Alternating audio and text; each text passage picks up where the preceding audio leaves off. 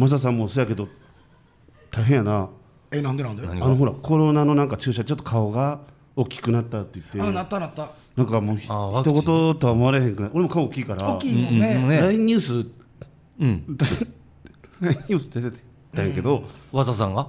マサさんがそのコロナの副作用で顔大きくなってうんうん。もともと大きいやんか、でまたちょっと大きくなっててちょっと大俺きいですよ、うん。今で初めて見たんよその写写真 LINE ニュースの、うん。マジでこ、ん。こ写真こうあるやんか、こここのスペースもうなかった。それでざディスってるわけじゃなくてそのいや大変やな思って。え何収まってないの、写真に、博多の通りもんやんもうそれは。通りもんのやつやん。通りもんのやつみたいなサイズ。博多の通りもんや。ん。博多の通りも。ん。わ入ってなかったら枠に。いや僕それ写真最初見た時に、うん。だからマサさんのん普通に立ってる写真じゃなくて、はな加工してんねやと思ってああのあれあるじゃないですか夕方の旅番組みたいなやつで、はい飛行機に乗ってて、うんさあお次に行くのはこちら四国に向かいますってあ。アニメーションのやつね。うん。アニメーションで飛行機から顔出てるじゃないですか、うんあれぐらいでかかったです 言ってもうてるからもうやめてってそれなんなんマサさんが顔でかい話？やめろよマジで。じゃあ俺は顔大きいからうん。いやだからそれわ苦。労が分かるから、顔が大きい人の苦労が、うん。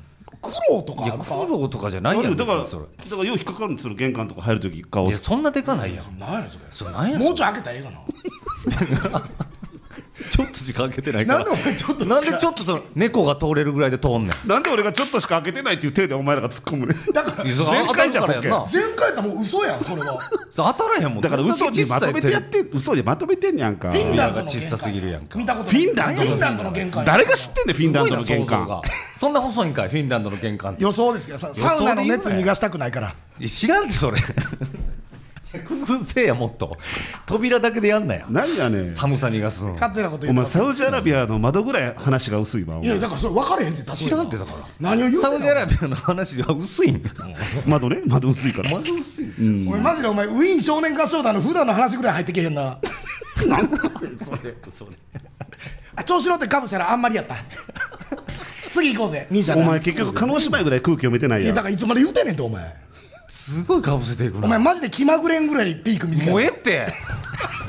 すごいなミルフィーユが。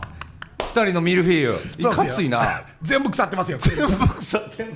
売るなよそんなもん。腐ったまま。商品に出すなそんなミ全ルフィーユ。部うんちやで。全部うんち。一全部うんちで一層から五層まで全部うんちうんちうんちいや鉄の層からうんちなうん一層からうんちのミルフィ一ーユ。層からの最初もううんちやんじゃん。そうやでうんちやでうんちミルフィーユ。うんちのミルフィーユやん。うんちミルフィーユ。いろんな人のうんちのそうミルフィーユ。ハッシュタグうんちミルフィーユ。ハッシュタグつけんな。誰が検索すんねんそれ。あすごいシンクロしたあかんこれはあかんですよ。